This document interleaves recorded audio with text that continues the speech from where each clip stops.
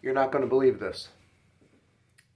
So a little while ago, I ordered a little bit of pizza for a little snack. And, you know, the guy came and he left it out there, outside the door. And, of course, when he came, I did this.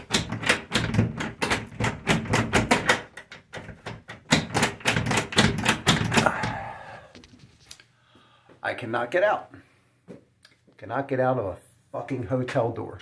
Could certainly get in because I'm a fireman, but I don't have any tools with me. So what did I do? I called the front desk. What did they do? They came up and tried the door. He said, oh, we're going to get somebody to get that open. I said, don't worry. I got someone coming. Because I called the fireman.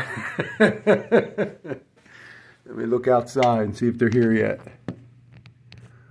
Mm. No fire truck yet. But when they get here and they go to pop that door open with their iron sky, I'll turn this back on later.